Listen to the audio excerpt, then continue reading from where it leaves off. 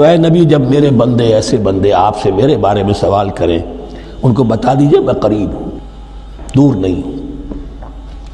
ये हुकूक इंसानी का मेरे नज़दीक दुनिया में सबसे बड़ा मैग्ना कार्टा है। अल्लाह और बंदे के दरमियान कोई फ़सल नहीं है।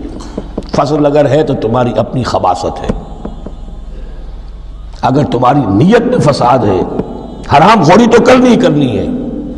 तो अब किस मुँह से अल्लाह से दुआ करोगे? फिर जाओगे किसी पीर के पास, आप दुआ कर दीजिए। ये नजराना हाजिर है। ये तरीका क्या है? इंसान का नफ्स हाइल है और कोई नहीं। वरना हम तो माइल बेकरम है, कोई साइल ही नहीं। राह दिखना है किसे रहना भी मंजिल ही नहीं। कोई पोप नहीं, कोई पंडित नहीं, कोई पादरी नहीं, कोई पीर नहीं, कोई नहीं। जब चाहो अल्लाह से हम कलाम हो जाओ। इससे बड़ा हक। क्यों खालिक मखलूक में हाइल रहे पर्दे? पीराने कलीसा को कलीसा से उठा दो। मेरा हर बंदा जब चाहे, जहाँ चाहे, मुझसे हम कलाम हो जाए। हाँ शर्त है उसकी। वो शर्त आगे आ रही है। उजीब दावत दान मैं तो हर पुकारने वाले की पुकार सुनता हूँ। और सुनता नहीं, जवाब देता हूँ। और सिर्फ़ जवाब नहीं देता, कबूल करता इजाबत में ये तीनों चीज़ें मौजूद हैं और इजादान जहाँ मुझे पुकारे जब पुकारे। देयर एंड देन मैं मौजूद हूँ। लेकिन शर्त क्या है? फल यस्तजीबूली उन्हें भी तो मेरा कहना मानना चाहिए।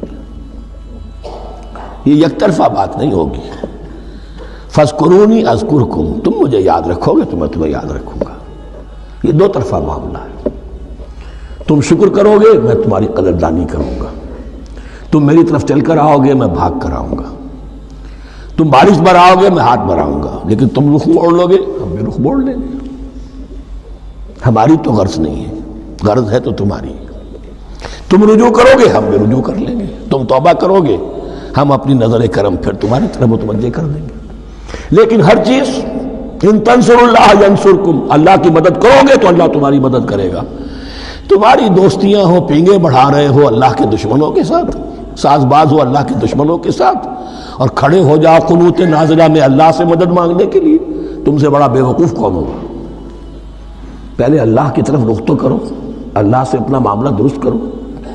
हाँ इसमें कोई ये शर्त नहीं है कि पहले वली कामिल बद... इस वक्त तोबा करो खलूस नीयत से, और सारे पर्दे हट जाएँगे। लेकिन खलूस नीयत के साथ तोबा